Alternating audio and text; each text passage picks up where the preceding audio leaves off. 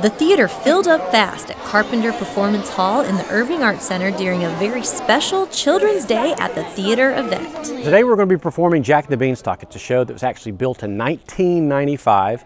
Uh, it originally debuted in Arlington, Texas, but it is going to be, uh, it's been, it's been refurbished and updated, but uh, it's going to be performed here at the Irving Arts Center for the for the kids of Irving. Geppetto's Le Theatre des Marionnettes teamed up with the Irving Parks and Recreation Department to host the free show. We just wanted a lot of kids who may not have had a theater experience and a lot of we wanted parents who may not be able to afford to bring multiple kids to the theater we wanted to, to give them a live performance experience. Geppetto's decided to show the kids a performance they would be familiar with. Jack the beanstalk is a perennial favorite of all the kids boys and girls and it has a lot of magical stuff that happens on stage so the kids really love it. Well hello there lad. Are you here to see the magic show?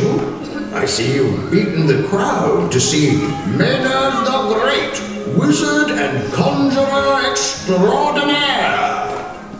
Um, who's that? I know parents are always looking for things for kids to do in the summertime.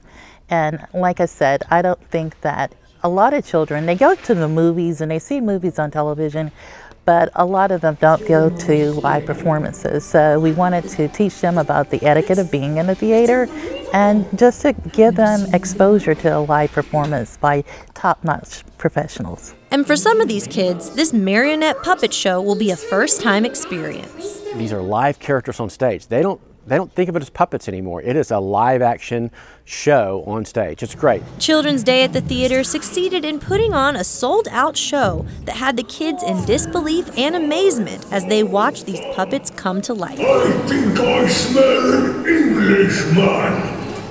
For About Towne, this is Susan Kamyab. Oh,